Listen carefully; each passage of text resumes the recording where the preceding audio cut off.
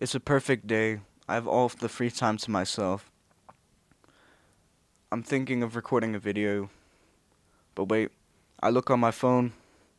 I see somebody sent me a reel on Instagram.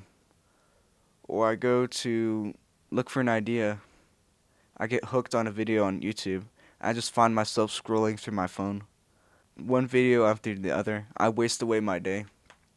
What could have been a productive day spent recording turned into me just watching other people's content, wasting my time. I swore to record a video and become a producer, but now I'm a consumer. I watch people's content, I watch reels. I've tried to make th- I tried to solve this problem many times before. I tried deleting the apps, I tried putting blockers on. I tried everything.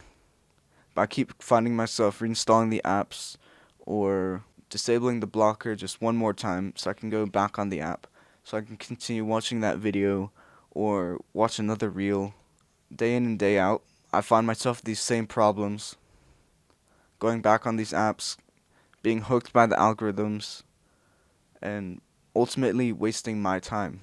You ever think what happens when you go on your phone when you're like, you just pick up your phone and go on Instagram or something? These uh these evil companies they're luring you for your phones and they have these algorithms designed to elicit addictive behaviors in you. Whenever you go on youtube you don't understand the algorithms behind what's influencing your decisions.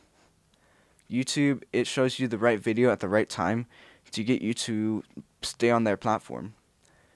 It knows that you, you click on videos. It knows how much time you spend on each video watching it what videos make you click off of YouTube, what videos keep you on YouTube, and they'll show you the ones that you want to see to keep you there as long as possible. Basically, you're a slave to your phone.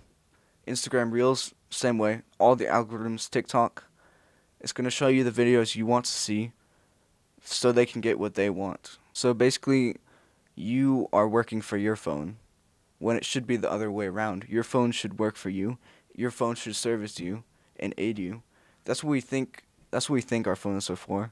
My phone is so helpful. I used to. I wouldn't be able to live without my phone, but really, you probably could. Let's be honest, and probably live way better than you are right now. Because as it is, you're a slave to your phone, and nothing's changing unless I do something and I step in. Let's let's first let's start off with the first way to break your addiction with social media and to how to make your phone work for you not the other way around. So I remember going through this. Um, so I remember going through this one article on Medium. I was reading on Medium, and I saw this article about what what is what causes people to have high self control. Self control. We think of self control. We think of people like gritting their teeth, resisting the temptation. People who can just like have a cookie in front of them and just be like, I don't care enough. I have so high self control. That Doesn't bother me. I can easily resist temptations. That was that's what we think of high self-control people. When in reality, this article showed to me that people who are shown to have the high self-control have that uh stats status. They aren't good at resisting temptations. More like they are good at avoiding them. You think you think these people are gritting their teeth? They're like they're just good at resisting temptations. When it's actually not it's way easier than you think. For example, a person with high self control, they just don't have junk food in their home. They don't have in their home, they avoid it. Instead of just having junk food in their house and being able to resist it, they avoid it, not resist. I'm guessing you could see where I'm going with this. Instead of just having the apps on your phone and trying to resist the urge to click on them or something, just delete them, just delete them. I don't care. Delete YouTube, delete Instagram, delete Snapchat, TikTok, I don't know what other apps people use. Those are the main ones. Just go on your screen time right now and see what apps are taking the majority of your time. I'll do this right now. Okay, you can't read it. But for me, it says 56 minutes. The main one is checklist, Safari, photos. I really haven't used much of like social media on my phone. So you can see this method works if I can if if it can work for me. Also also delete all the games. I don't care how far you've gone on Retro Bowl or Brawl Stars, delete that shit. The problem with these apps that you're using on your phone is they're they're cheap hits of dopamine. They're it's just causing destructive behavior. Basically, you're taking happiness away from your future self and giving it to yourself right now. Your future self's going to be like, "Why'd you waste all that time in high school wasting your time on your phone when you could have been doing something more productive with your time?" You know, maybe like getting money, working, getting girls, I don't know, doing stuff that actually you actually cared about the way to the way to become immune to depression and not to be sad all the time is through delayed gratification. Delayed gratification is so so important. People become happy is because they'll do the hard thing right now, so their future self has no excuse to be depressed.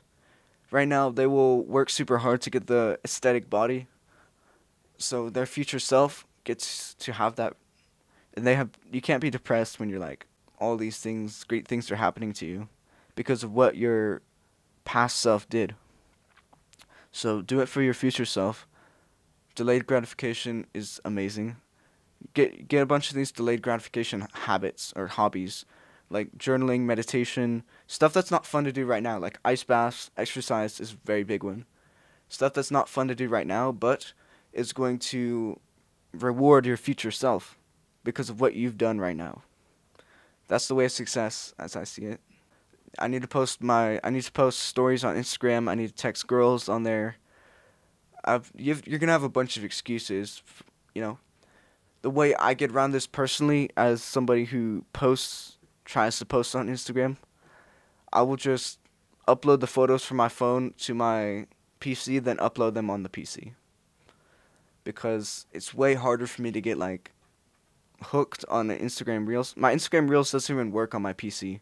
So, and also you need to consider why am I even posting again? Like, why why am I posting? If if you stop posting today, think what would happen. What would happen if I just stopped posting today? My guess, my likely, my most likely guess is that nothing's gonna happen. People don't notice us as much as we think, as much as we give ourselves credit for. There's a spotlight effect, as I've talked about many times.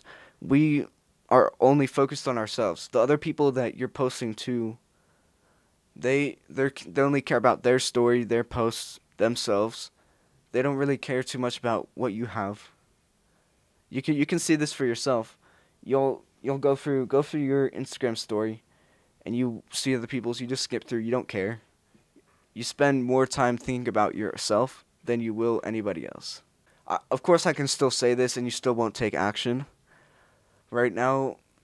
So right right here, raise your hand up and slap yourself. That's that's from me.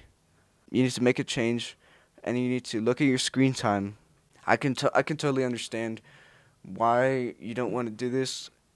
As I said, the algorithms are super addictive.